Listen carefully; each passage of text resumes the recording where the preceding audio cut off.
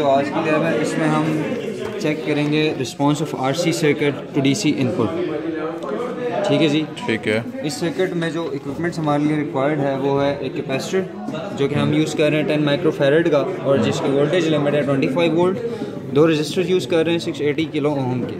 ठीक है जी? और यहाँ सिक्स एटी किलो ओम के रजिस्टर और कैपेसिटर टेन माइक्रोफेरेड का। सिक्स एटी किलो ओम और कैपेसिटर आ गया टेन माइक्रोफेरेड ठीक। और इसका हमारे पास आ जाएगा टाइम कांस्टेंट टा टा इक्वल टू आर सी होता है और ये आ जाएगा सिक्स पॉइंट एट सेकेंड्स हमारे पास एक top mean six point eight seconds के बाद।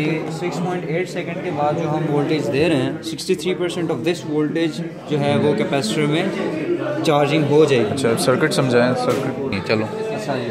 अभी हमने जस्ट यहाँ पे ब्रेड बोर्ड पे ये सर्किट बनाया हुआ है। यहाँ से ये ओपन सर्किट है।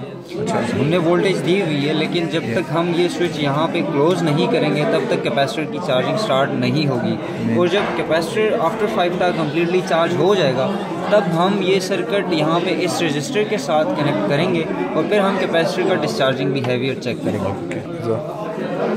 अच्छा ये जो हम चीज़ें यूज़ कर रहे हैं उसमें कैपेसिटर और रजिस्टर ये ये वैल्यूज़ के यूज़ कर रहे हैं यानी 680 किलो ओम रजिस्टर है और कैपेसिटर है टेन माइक्रोफेरेड का जिसके लिए हमारे पास एक टाइम कांस्टेंट की वैल्यू आई है सिक्स पॉइंट एट सेकेंड्स जिसका मतलब है सिक्स पॉइंट एट सेकेंड में ये sixty three point two percent charge हो जाएगा।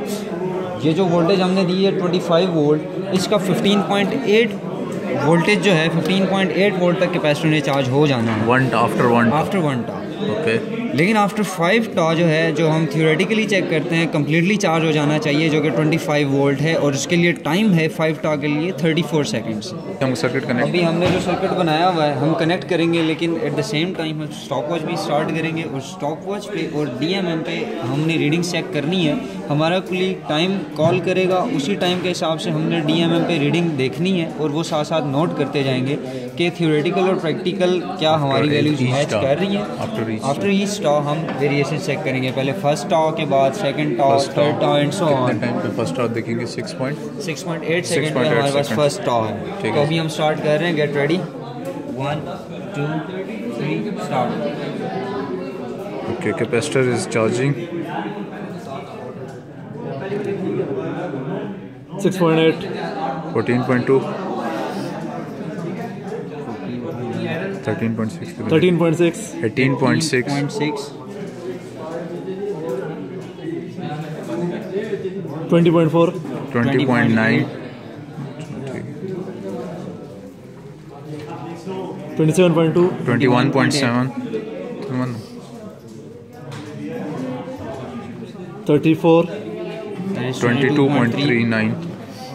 34 22.39 40.8 और बस 40.8 दैट इज़ 22.6 जी तो जैसे हमने देखा कि हमारे पास 63.2 परसेंट पे जो तो sixty three point two percent यानी फिफ्टीन पॉइंट एट वोल्ट हमारे पास आफ्टर वन टा यानी सिक्स पॉइंट एट सेकेंड के बाद होना चाहिए था। ये हमने किया थियोरेटिकल जबकि प्रैक्टिकल हमने सिक्स पॉइंट एट वोल्ट के बाद देखा तो हमारे पास कैपेसिटर चार्ज हुआ हुआ था फोर्टीन पॉइंट नाइन वोल्ट तक। जबकि ये अब वैल्यू कम क्यों आ रही है? क्योंकि कोई चीज़ हमारे पास प्रैक्टिकल में उतनी परफेक्ट नहीं आती जिस तरह हम थियोरेटिकल करते हैं।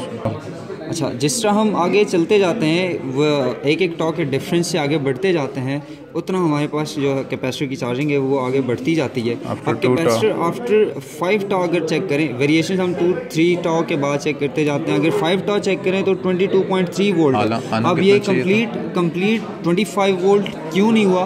क्योंकि ये भी वही रीज़न है कि कोई चीज़ हमारे पास practically full fully charge capacitor नहीं हो सकता जिस तरह हम थियोरेटिकली वो करते हैं. एटलीस्ट ये 90 परसेंट तक होना चाहिए जो कि हमारी वैल्यू बिल्कुल ठीक आ रही है. जी तो अब हम डिस्कस करेंगे डिस्चार्जिंग ऑफ़ कैपेसिटर अभी हम डिस्चार्ज फुली चार्ज हुआ हुआ है हमारे पास कैपेसिटर अप टू 23.43 वोल्ट्स तक. ओके अब आफ्टर वन टा क्योंकि टॉ जो है टाइम कांस्टेंट वो डिस्चार्जिंग के लिए भी वही सेम है. यानी 6.8 सेकंड के बाद हमारे पास वोल्टेज ड्रॉप यहाँ तक आनी चाहिए यानी कैपेसिटर में 14.8 वोल्ट तक वोल्टेज फिर स्टोर होनी है after one tau eventually after five tau इसने कंप्लीट डिस्चार्ज भी हो जाना है ज़ीरो वोल्ट तक आ जाना है।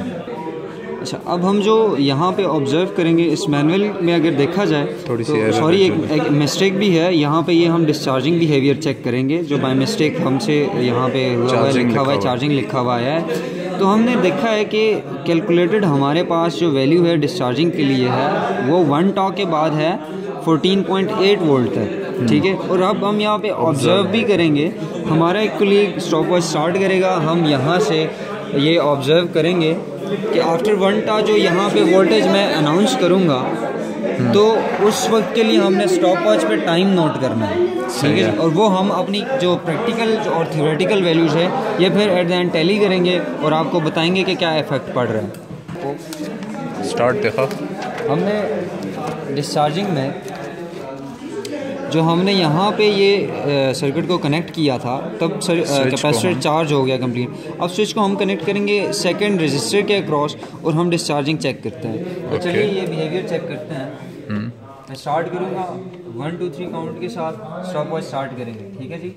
चलें one two three capacitor discharge हो रहा है।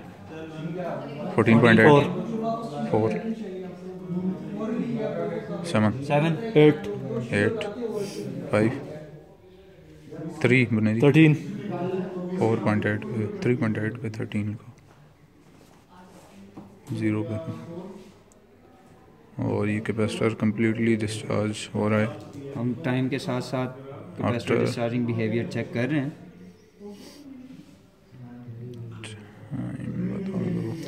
और ये देखें। कैपेसिटर इज़ ऑलमोस्ट 34 34 पे 0.34 कम्प्लीटली डिस्चार्ज हो गया। जी।